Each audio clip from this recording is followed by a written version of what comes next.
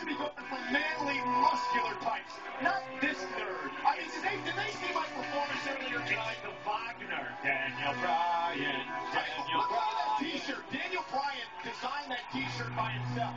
It looks like